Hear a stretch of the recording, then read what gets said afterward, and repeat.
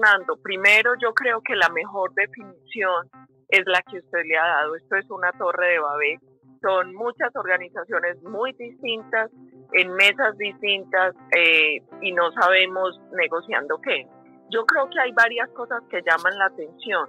Eh, la primera son esos decretos del 31 de diciembre, el decreto 2655, que creó una instancia a nivel nacional para poder eh, definir y caracterizar lo que ellos han denominado estructuras armadas organizadas de crimen de alto impacto. Y a mí me llama la atención ese decreto porque ahí está el ministro de Defensa, el director de la DNI, la Dirección Nacional de Inteligencia, el alto comisionado para la paz, pero no está, por ejemplo, la Fiscalía. Entonces uno dice, solo con la información de esos tres miembros, los tres del gobierno, los tres con intereses claros y con subordinación a Petro, son los que van a definir y a caracterizar las estructuras criminales. Y ahora le voy a decir eso porque me llama tanto la atención.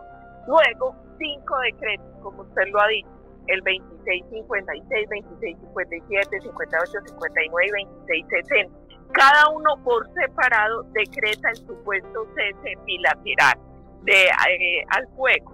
A uno ahí le llaman la atención varias cosas. La primera, no fue que se habían acabado la paz, no fue que estábamos en paz.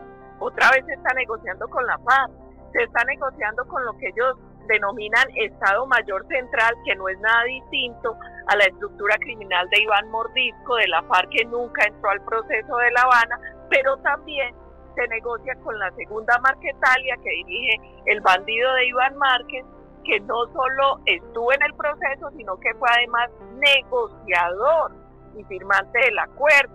Y hoy se abre nuevamente la posibilidad de negociar con él. También las autodefensas gaitanistas, que es el clan del Golfo, y las autodefensas conquistadores Sierra Nevada. ¿Por qué me llama la atención? Porque esos eh, conquistadores de la Sierra Nevada son los Pachenko, que son hombres que ahí hay muchos hombres que estaban bajo el mando de Hernán Giraldo y, el gobierno anterior no los había clasificado ni reconocido nunca como grupo armado organizado. No sabemos bajo qué criterio este gobierno sí decidió darles ese reconocimiento. Por eso mencioné el primer decreto donde son tres funcionarios del gobierno los que están definiendo las estructuras. Otra cosa que llama la atención, el ELN salió a desautorizar al gobierno, el gobierno suspendió el decreto del ELN, pero no los demás. Pero ¿sabe qué, doctor Londoño? Muchos colombianos en Buenaventura estuvieron angustiados con asesinatos y desplazamientos por enfrentamiento entre el ELN y el clan del Golfo. Y entonces, y entonces, ¿cuál es el tal cese? ¿Cuál es el cese? Ellos estaban combatiendo. Ahí apareció un cuerpo desmembrado en el río, hay un montón de personas desplazadas de la zona del Bajo Calima, que es zona rural de Buenaventura. Y eso fue después del primero de enero, que era cuando se supone empezaba el cese bilateral. ¿Y quién va, y quién va a responder? Además, porque hay un problema. La tal misión de verificación entrega informes cada dos meses y esa misión de verificación, ¿quiénes son? Otra vez los mismos, el ministro de Defensa, el alto comisionado, los miembros de las propias estructuras criminales, es decir, ellos mismos van a decir si están cumpliendo o no, y miembros de la Iglesia, organizaciones del territorio. ¿Sabe qué, doctor Londón? Esto tiene una consecuencia muy grave. Aquí se está paralizando a la fuerza pública para combatir las estructuras criminales y que no nos engañen. En el decreto dice que van a seguir cumpliendo su función constitucional y legal. ¿Cómo? Si los ataron de mano. Dicen que van a seguir combatiendo la minería ilegal, el narcotráfico. ¿Cómo? Si los que se dedican a la minería ilegal y el narcotráfico son esas estructuras con las que se está negociando. ¿Y sabe qué es lo más grave?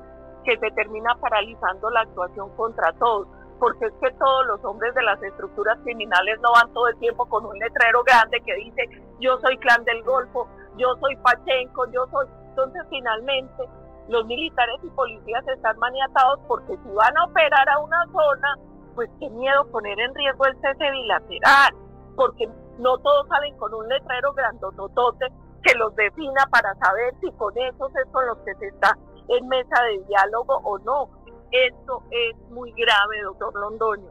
Lo que está pasando es muy grave. Además, porque es un cese al fuego, pero no es un cese de actividades criminales, no es un cese de todos los delitos conexos que cometen estas estructuras. Entonces, uno lo que ve es que el, el gobierno de Petro, en su afán, pues seguramente por cumplirle al pacto de la picota y a todas esas estructuras que, que ayudaron a elegirlo, está atando el Estado y dándole patente de corto a los criminales para elegir. Doño, eh, la realidad es que ese, ese barco de la paz total, de la cual eh, nos ha vendido la idea del presidente como buen político, pues también eh, nos da la impresión de que está haciendo agua. No parece que esa paz total se vea en el horizonte y por el contrario, en las primeras de cambio, que fueron los decretos que él emitió el último día del año que acaba de terminar, pues nos han dejado un, sabor un poquito decepcionante sobre lo que viene para Colombia en ese sentido de la paz total. Ya el ELN ha salido a decir que ellos no han firmado ningún acuerdo bilateral de fuego y que eso será motivo de discusión en la próxima ronda a finales de este mes en México. La pregunta es, ¿qué más van a decir los miembros de los otros grupos que han sido convocados para este cese supuestamente bilateral del fuego que el presidente nos prometió? Eso también va paralelo a a los decretos que amarran de alguna manera a la fuerza pública en su aspecto operacional y que les impide atacar a los miembros de estos cinco grupos de extrema derecha y de extrema izquierda que son operacionales en todo el territorio nacional y que están dedicados al 100% al narcotráfico y la minería ilegal. Entonces es un verdadero hueco que se le abre a la quilla de este barco que se llama La Paz Total, en la cual, repito, nos ha querido embarcar el actual presidente. La realidad es que eso eh, va aparejado con la propuesta que le hizo el presidente Petro a los cocaleros en el Catatumbo sobre un eventual desarrollo normal de sus cultivos de hojas de coca mientras siembran otros productos agrícolas que eventualmente lleguen a igualar las ganancias de la hoja de coca. Propuesta esta que fue rechazada airosamente por el principal consumidor de cocaína en el mundo que son los Estados Unidos.